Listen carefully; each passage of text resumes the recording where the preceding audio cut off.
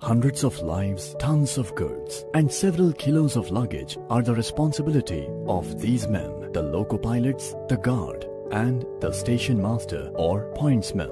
I, the driver of your train engine, officially known as Loco Pilot, promises to take you to your destination safely. The report prepared by the previous operator is checked. Oil levels in all the machineries and various parts of the loco are double checked. So you can grab your seats now as I turn on the engines. Your blue chariot now awaits for the go-ahead signal. Meanwhile, I, the guard of your train, after putting up the tail signage, makes sure that everything is in place. The status report by previous guard allows me to release the air brakes and also the pressure gauge to stabilize the air pressure. Meanwhile, I, the station master or the pointsman, after making an informed and appropriate decision, am returning from the control room to signal the loco pilot to take you on the journey on our beautiful Konkan region.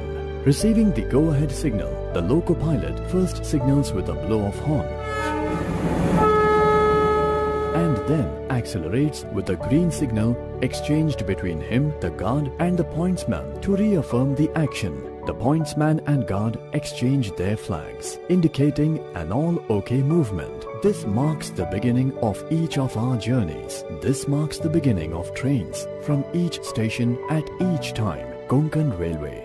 We serve.